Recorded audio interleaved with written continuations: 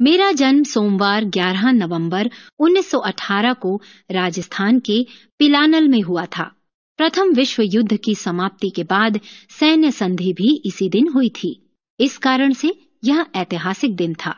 जैसे जैसे मैं बड़ा होने लगा, मैंने व्यवसाय के साथ साथ राजनीति में भी रुचि लेना शुरू कर दी। पिताजी देश की राजनीति से पूरी तरह जुड़े थे। वह देश के कई बड़े नेताओं, विशेषकर बापू के काफ़ी करीबी थे। घर का वातावरण आज़ादी के संघर्ष से प्रभावित था। मैं ऐसे वातावरण में बड़ा होने लगा। 22 वर्ष की उम्र तक आते आते मैं देश के कई बड़े नेताओं के साथ बंगाल की बड़ी राजनीतिक हस्तियों से परिचित हो चुका था। मैंने इसको गौर से देखा है कि सन 1920 से वर्तमान तक की भारत की स्थितियों में कैसे नाटकीय ढंग से बदलाव आए हैं। बहुत से ऐसे लोग इस दुनिया में नहीं हैं, जिन्हें महात्मा जी की डांडी यात्रा के बारे में याद हो। गांधी जी ने सन 1930 में सत्याग्रह का नारा दिया।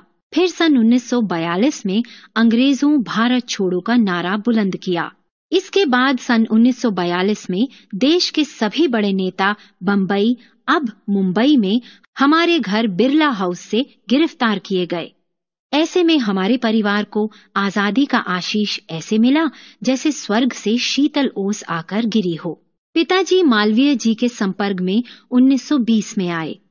वह मालवीय जी की संजीदगी, साधारण तौर तरीके हिंदी और संस्कृत जैसे विषयों और प्राचीन ग्रंथों के ज्ञान व उनके उच्च नैतिक चरित्र से काफ़ी प्रभावित हुए। मालवीय जी ने हिंदुस्तान टाइम्स की शुरुआत की। जितने भी धन की ज़रूरत थी, उसे पिताजी ने उपलब्ध कराया।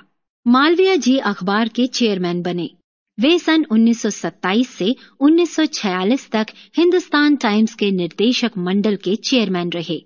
नई दिल्ली के बिरला हाउस में 30 जनवरी 1948 को गांधी जी का निधन हुआ था।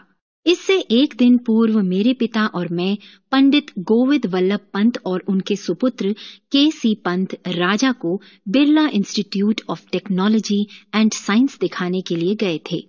वहीं हमें गांधी जी की हत्या की दुखद सूचना मिली थी। मेरे पिताजी पंत जी और राजा तुरंत मेरे पिता के विमान से दिल्ली रवाना हो गए थे। क्योंकि विमान छोटा था, इसलिए उसमें सभी लोग नहीं बैठ सके। अतः मैं कुछ अन्य लोगों के साथ कार से दिल्ली के लिए रवाना हुआ। मैं तब तीस वर्ष का था। मैंने सोचा कि यदि मैं अंतिम यात्रा में शामिल होने का अपना संकल्प अपने पिताजी को बताता तो वह अवश्य मुझे वहाँ जाने के लिए मना करते। क्योंकि पुलिस और प्रशासन द्वारा विशाल जन समुदाय को रोक पाने के बहुत पुख्ता इंतज़ाम नहीं थे। इसलिए मैं चुपचाप वहाँ पहुंचकर अंतिम यात्रा में शामिल हो गया।